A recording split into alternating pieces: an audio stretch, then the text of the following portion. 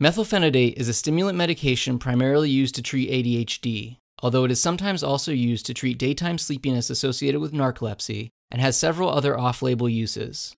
Methylphenidate is better known as Ritalin or Concerta, which are two of the numerous brand names the drug is sold under. Methylphenidate is a stimulant drug.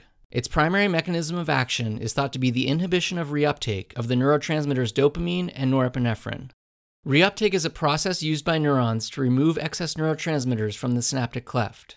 In reuptake, proteins called transport proteins move neurotransmitters out of the synaptic cleft and typically back into the neuron that released them. Thus, by inhibiting reuptake, methylphenidate increases levels of dopamine and norepinephrine in the synaptic cleft.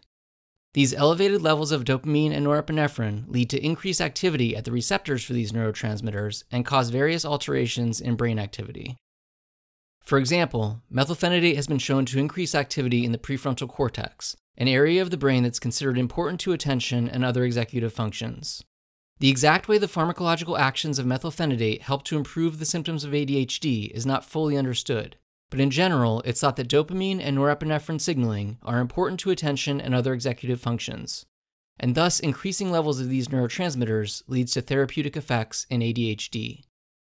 Although inhibiting dopamine and norepinephrine reuptake appears to be the primary mechanism of action for methylphenidate, the drug does have a number of other actions in the nervous system.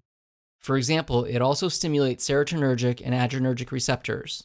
It's unclear exactly what contribution these other actions may make to methylphenidate's therapeutic effects, but studies have found that the effect on adrenergic receptors specifically may be important to the drug's ability to enhance cognitive function.